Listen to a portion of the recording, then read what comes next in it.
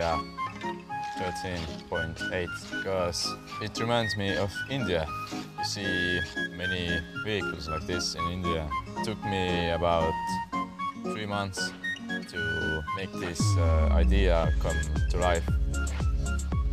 It's not easy to build something this big and ambitious uh, this vehicle.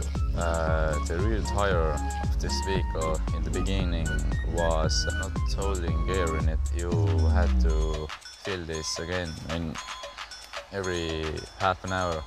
Eventually it exploded.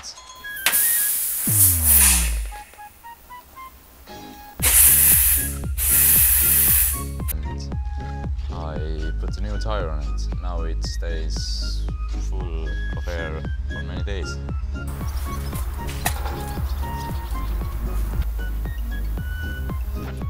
It has a secret special feature too.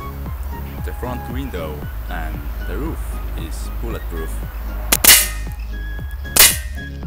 Now we can see the damage that the bullets did. There are uh, four shots and as you may see they're pretty small. And on the other side there isn't anything. So it's uh, bulletproof. It has been raining for two hours now and the India 13.8 was standing in the rain the whole time. You can see the water damage the rain did to the India 13.5 uh, right in the video.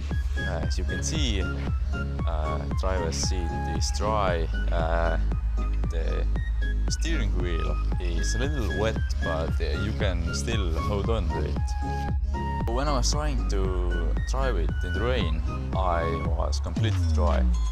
No water got on me. After the drive, I was dry. The seat was dry, the bike was dry, everything was dry.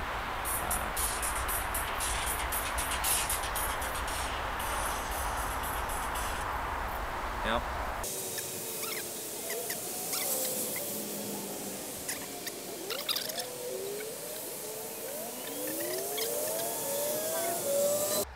So the India 13.8 passed the rain test.